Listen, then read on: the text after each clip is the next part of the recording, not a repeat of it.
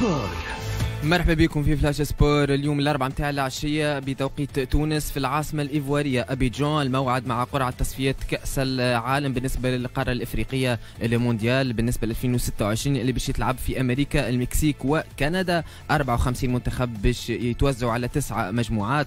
كل مجموعة فيها ست منتخبات. يترشح كل منتخب جاء في المركز الأول من مجموعته مباشرة للمونديال. وأفضل أربع منتخبات في المراتب الثانية يلعبوا ملحق إفريقي الفائز منهم يلعب ملحق عالمي وباش نعطيكم المستويات قبل عملية القرعة بالنسبة لليوم. المستويات من واحد حتى لستة المستوى الأول فيه منتخبنا الوطني التونسي المغرب السنغال الجزائر مصر نيجيريا الكاميرون مالي وساحل العاج. المستوى الثاني بوركينا فاسو غانا جنوب أفريقيا راس الأخضر جمهورية الكونغو الديمقراطية غينيا زامبيا الجابون غينيا الاستوائية. والمستوى الثالث أوغندا البنين موريتانيا كينيا الكونغو مدغشقر غينيا بيساو ناميبيا أنغولا في المستوى الرابع الموزمبيق غامبيا سيراليون التوغو تنزانيا زيمبابوي جمهورية أفريقيا الوسطى مالاوي وليبيا وفي المستوى الخامس النيجر جزر القمر السودان رواندا بوراندي إثيوبيا اسواتيني بوتسوانا وليبيريا وفي المستوى السادس والأخير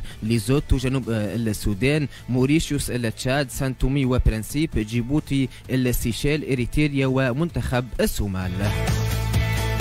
الاتحاد الدولي لكرة القدم الفيفا أعلن اليوم على نصيب الأندية التونسية من مشاركة لاعبيها في مونديال قطر 2022 الترجي الرياضي التونسي التونسي باش يحصل على 525 ألف دولار النادي الأفريقي 312 ألف دولار النجم الساحلي 262 ألف دولار النادي الصفاقسي 197 ألف دولار والاتحاد المونستيري كما ال CSS 197 ألف دولار. هداف البطولة الإيفوارية دي بي بيرانجي قريب برشا من الانضمام للنادي الرياضي الصفاقسي. مهاجم فريق سان بيدرو يوصل اليوم لتونس من المنتظر أنه يجلس إلى مسؤولي ال CSS للاتفاق على تفاصيل العقد. بيرانجي سجل 14 هدف الموسم اللي فات مع فريقه وكان محل رغبة من فريق الوداد المغربي والرجاء البيضاوي. الاتحاد المونستيري أعلن تعاقده مع المدافع الإيفواري ناود زيجي بعقد مدته ثلاث سنوات. اللاعب يشغل خطة مدافع محوري ولعب الموسم الفارط في فريق سان بيدرو الإيفواري. الهيئة المديرة للاتحاد الرياضي بتطاوين اتفقت مع المدرب وجدي بوعزي للإشراف على تدريب الفريق بداية من الموسم الجديد. بوعزي تحول اليوم إلى تطاوين ونهار الاثنين باش يقود أول حصة تدريبية ليه على رأس الفريق.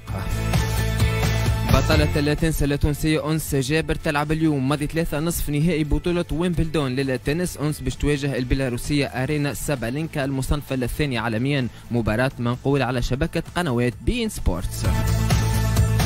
flash sport قدمه لكم هاني براهمي أكثر أخبار وتفاصيل كالعادة على ال site net. توجيكم معز بن غربية في برنامج